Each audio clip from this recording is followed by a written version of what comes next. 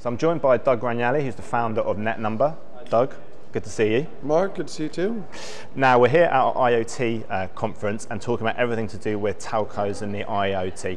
Tell us about what your sense is of where telcos are with regards to the Internet of Things and where NetNumber fits into that. Mark, that's great. So every mobile operator that we work with around the world is participating in IoT at some level today. Uh, it's not a surprise. Subscriber growth in the mobile world has slowed down, so mobile operators are looking for new revenue opportunities. IoT, the opportunity to connect devices, not just subscribers, to the mobile network, it's a fantastic revenue opportunity for all these mobile operators. So everyone's participating in it at some level today. What we find interesting is that they're choosing initially to use the same infrastructure that they built for subscribers. Think of, you know, my teenage daughters, right? They use the mobile network to do lots of video streaming, as an example.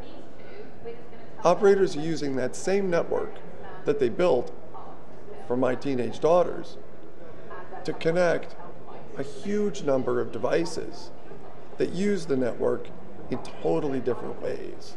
Now they're doing that because they've got this existing network and they're experimenting with IoT and they're learning.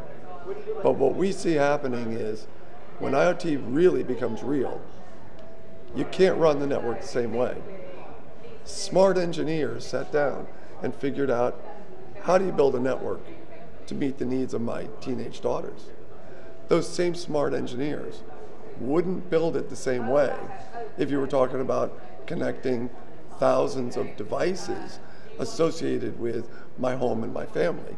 Because the devices, they're not going to pay 40 euro a month per device, and they're not going to use the network for Netflix streaming, right?